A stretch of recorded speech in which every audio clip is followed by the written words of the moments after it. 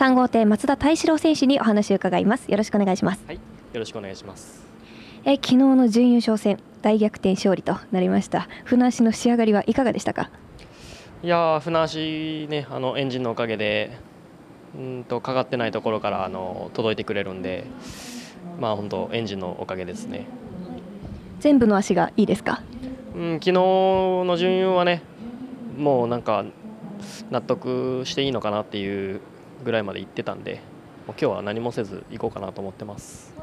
え乗り心地に関しても大丈夫そうですか？そうですね。え今節スタートに関してはいかがでしょうか？うんまあフライング持ってるしね。あの行く気はあんまりないので、まあこの辺なのかなと思ってますけど。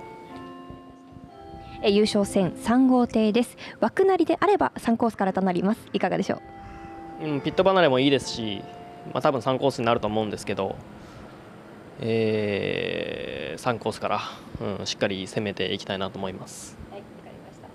えそれでは最後にファンの皆さんに向けてメッセージをお願いしますはい、えー優勝だけ目指して頑張ります。応援お願いします。